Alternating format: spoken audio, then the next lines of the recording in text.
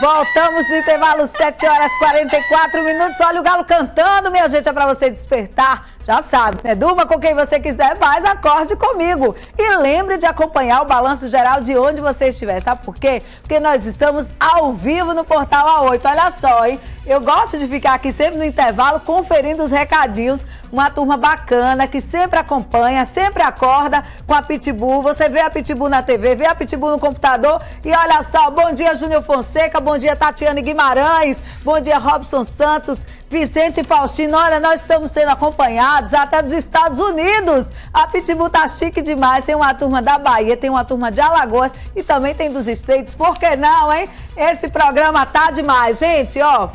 Eu agora quero lembrar você que você pode denunciar, pode mandar vídeo de bronca, o que você quiser. Relate a sua comunidade. Anote aí o nosso zap: 996520105. 996520105, porque esse programa é feito pela população. E vem pra cá, porque nós recebemos um vídeo de um telespectador lá do Centro Comercial de Aracaju, hein?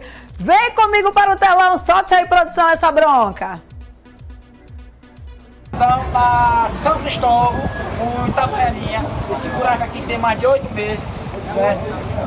Tinha uma tampa de aço aqui, tinha um aro aqui de ferro, aqui, só que a marizia comeu, certo? O riscado do pessoal cair aqui dentro, a gente cobriu com pallet, certo? E nosso amigo Timóteo fez a plaquinha para botar aqui no buraco do prefeito. A coisa tá feia, viu? O buraco tá grande, o buraco tá grande.